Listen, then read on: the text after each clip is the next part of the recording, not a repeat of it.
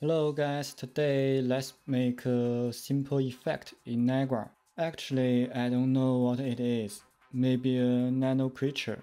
Okay, let's start it. First, let's create a Niagara system and we need an emitter as the leader, which will control the track of the particles. Okay, let's rename it. And add a spawn burst we only need one particle. And the kill particles is false because we want it to always be in the level. Then add a curl noise force, make the particle move. Okay, noise strength is 500 and frequency is 25. Also, we use pan noise field.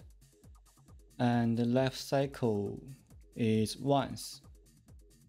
Okay, it moves around the level.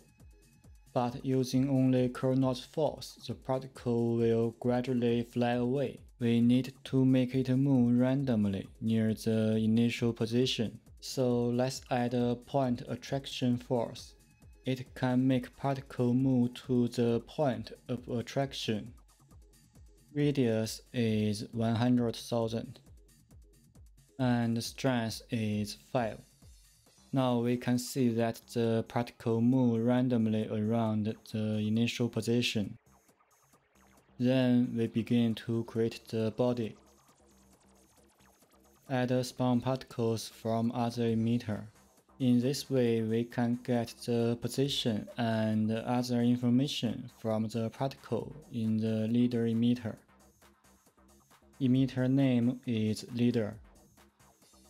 Okay, we can see that the particles in the body emitter will follow the particle in the leader.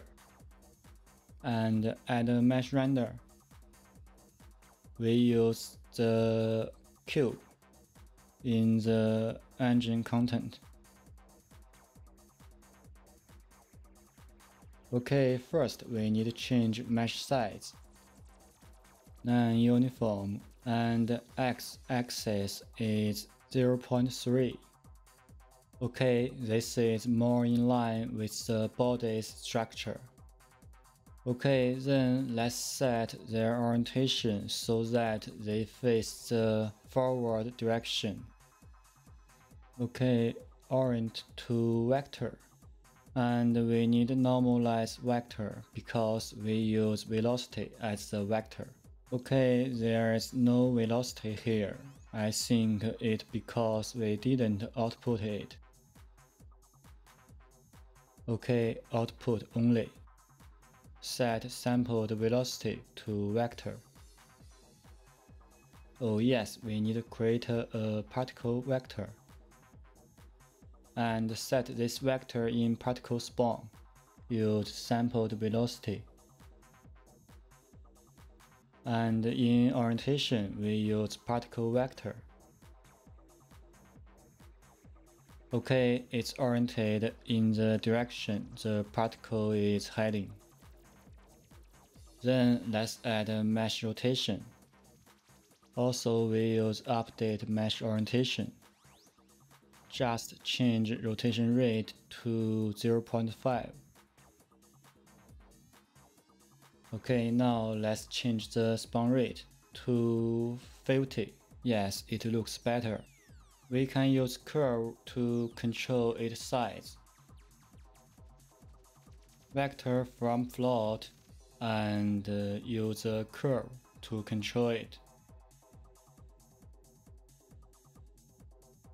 0 to 1 to 0.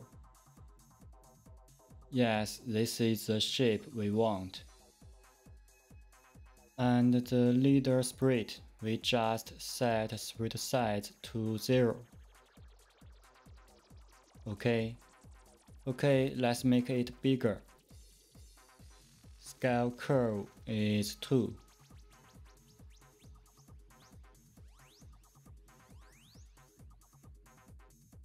We can also change key data.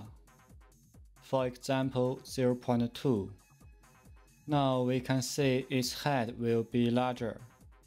Okay, that's all for this video. Hope you enjoyed. Bye.